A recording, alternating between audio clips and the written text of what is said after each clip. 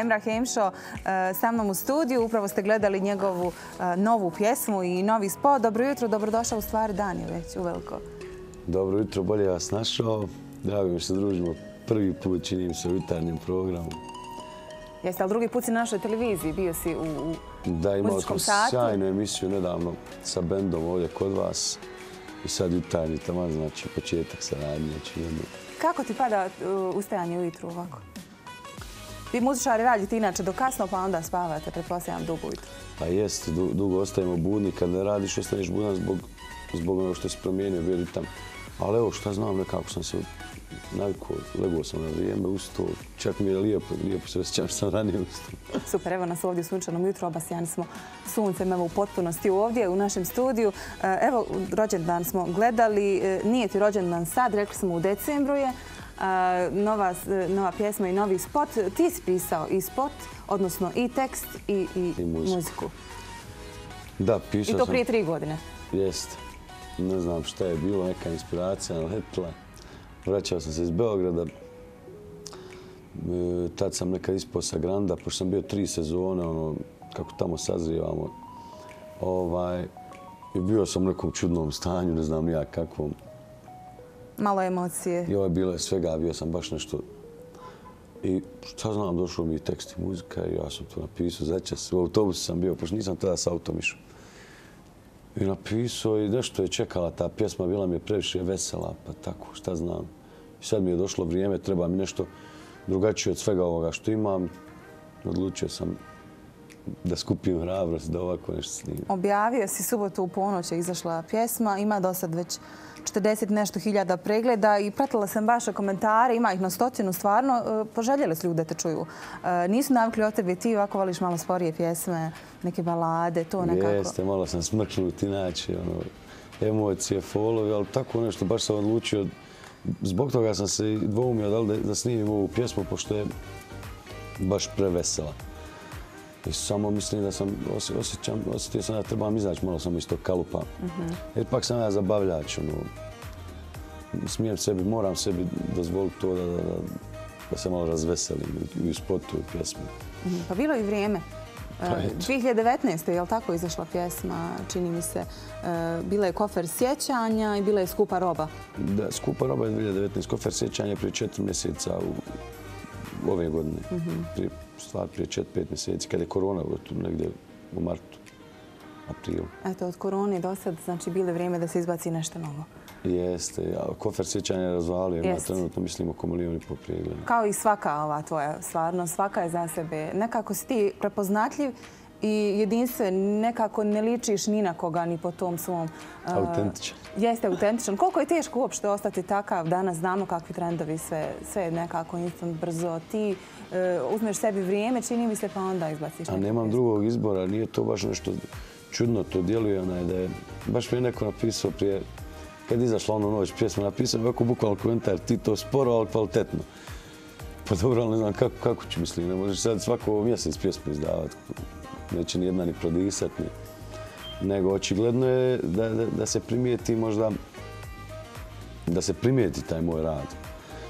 Pa kako, ono, kako radim u nekom intervalu od par mjeseci, 5-6 mjeseci, pošto je ovo malo skup sport, snimati pjesme i to. Mm -hmm. ovaj, Pogotovo danas kad je sve nepredvidivo ovako. Pa to djeluje malo da je možda sporo, a u suštini imam kontinuitet.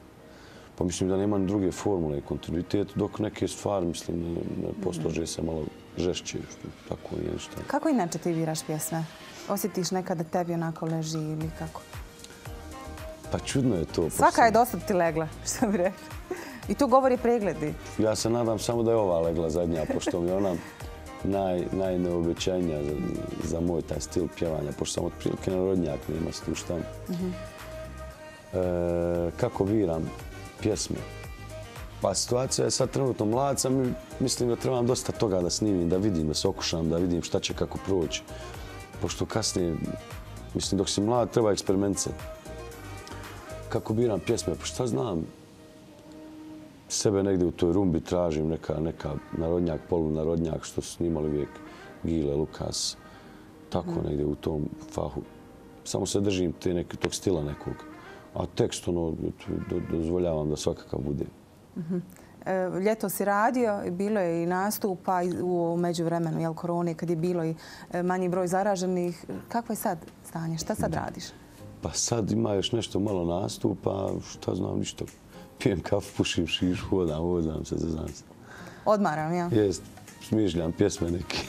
E, koliko si okrenut u ovom online e, pjevanju, tako kažem, snimanju e, kavera, sad je to sve više, jel? Kad se ne bude moglo pjevat, onda ćeš pretpostavljam sjet kući snimati i onda će ljudi da te prate preko mreža. Pa da, tako je bilo u martu. Dosta više smo snimali po Instagramu. Kako je bilo u martu kod tebe?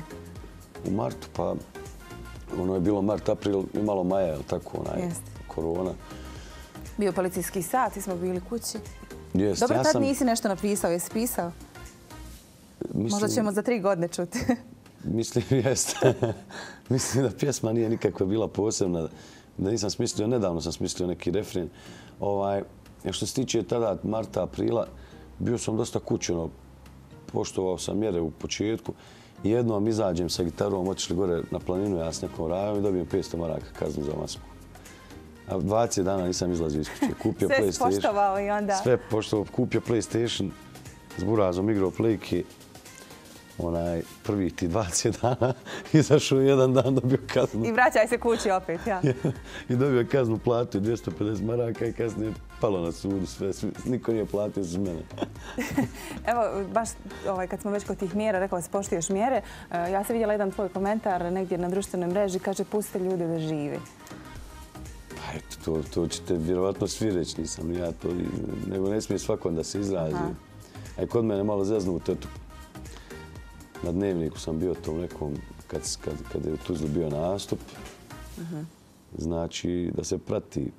I sad ne smijem svašta puno napisati, a svašta bi ja napisao, ali nije moje uh da to piše, moje da pjevam. Uh Biti pošti, poštovat ćemo mi mjere, ali malo nas, jel? Malo nas pustite da budemo. Ma, vala, neću ni poštovati, sad ću poštovati kad nije, nema smisla ništa, ali Nadamo se da će proći Nek ide kako ide. Što prije i da će nastupi opet biti ko što su bili. Priželjkuješ li ti to?